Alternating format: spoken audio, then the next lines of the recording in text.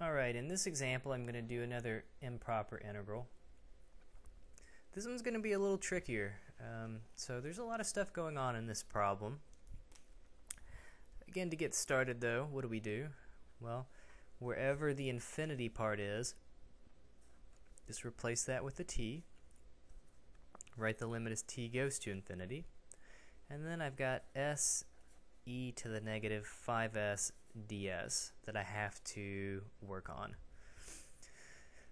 And because I'm a little lazy, there's a limit, there's a definite integral, I'm just going to kind of off to the side find the antiderivative for s e to the negative 5s ds. I'm going to work on that, and then at the end, once I calculate it, I'll rewrite it with the limit and the definite, um, with the limits of integration back in there as well. So first off, I have to remember how to integrate s e to the negative 5s. Well, I think, okay, maybe a u substitution would work. Well, if this was s squared, I would get a 2s. That would be good. There's not a lot of algebra you can do. Um, oh, maybe this is one of those integration by parts problems. So we'll let u equal s, dv equal e to the negative 5s. du is just going to be plain old 1 ds. If I integrate e to the negative 5s, I'm going to get negative 1 fifth e to the negative 5s. And two ways to go about doing this one. If you wanted to integrate it the long way, you should do a u substitution with u equals negative 5s. There's a little trick too that if you have e and a variable and just some number, if you divide by whatever number it is, in this case, so I've got I'm dividing by negative 5, which is equivalent to multiplying by negative 1 fifth, that's what the antiderivative will be. So recall our integration by parts formula. It says u dv equals uv minus the integral of v du. So I'm going to plug all that stuff in here. So it says this integral, I'm going to get u, which is s, so u times v. I'm going to pull my negative 1 fifth out front, e to the negative 5s. And then I'm going to subtract away the integral of v times du. Well, I'm going to pull the negative 1 fifth out front. That'll make it a positive 1 fifth. Then I still have e to the negative 5s, and I have to multiply that by du, which is just plain old ds. So again, now I'm going to integrate this thing. The negative 1 fifth s e to the negative 5s is along for the ride. Again, if I integrate e to the negative 5s, I'm going to get negative 1 fifth e to the negative 5s, just like I did up here. Well, if I take that negative 1 fifth and multiply it by this positive 1 fifth, I'm going to get negative 1 over 25 e to the negative 5s. And, okay, you get plus c, but let's remember the context of this problem. So it says, originally we were trying to figure out this thing. Well, I now know what the antiderivative is. It's all of this stuff. So I'm just going to plug it all back in. I've got the limit as t goes to infinity, negative 1 over 5 s e to the negative 5s minus 1 over 25 e to the negative 5s. And again, I'm still evaluating this from 0 to t. So from 0 to t. Alright, so hopefully so far so good. Again, a little tricky. Remembering, like I said, you know, just the integration itself can be a little tedious. Like on this one, we had to do integration by parts. So let's plug our limits of integration here in and see what happens. So we still have the limit as t goes to infinity. I'm plugging my upper limit in. Everywhere I've got a variable, in this case my variable is s.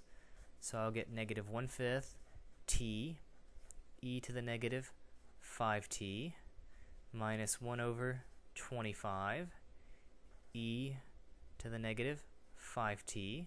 That's my upper limit. And then I have to subtract away when I plug in the lower limit, so I'm plugging in 0. Well, if I plug 0 into this term, I'm definitely going to get 0. And then I'm going to have minus 1 over 25. And then I've got e to the 0 in this case. And recall, e to the 0 is just 1. Alright, so the question is, again, what we're really trying to figure out, does this integral converge or diverge? So we're trying to figure out, do we get a finite number or not? So let's keep going here. I'm going to simplify it down, find a cleaner piece of paper here.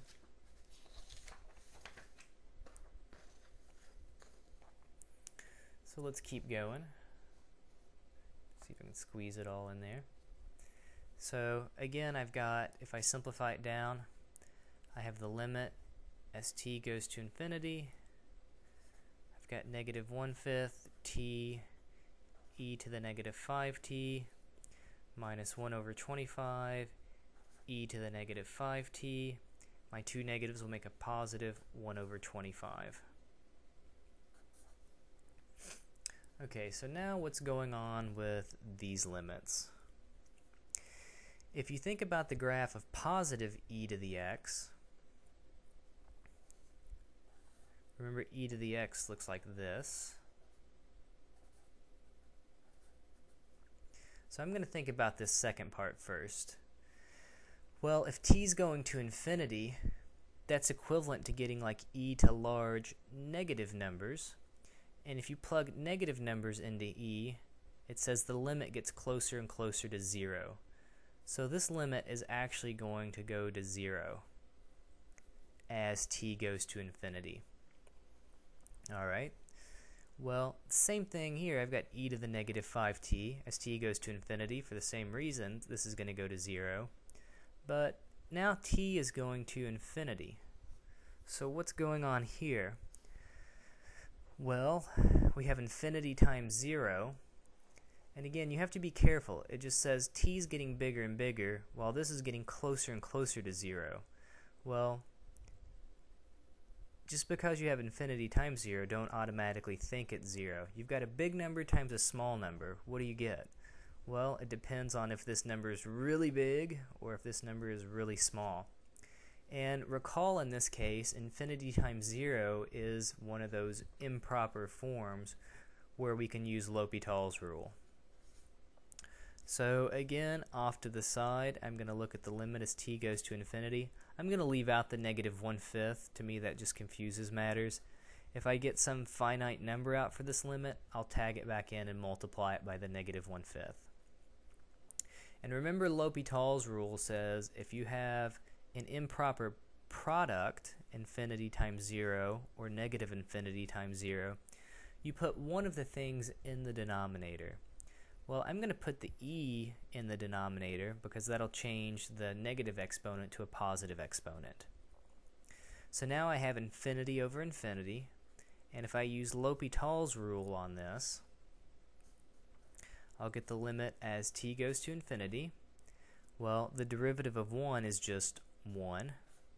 The derivative of e to the 5t is 5e to the 5t. And again, as t goes to infinity, I'm going to get e to the infinity, which is infinity. I've got 1 over infinity, which equals 0.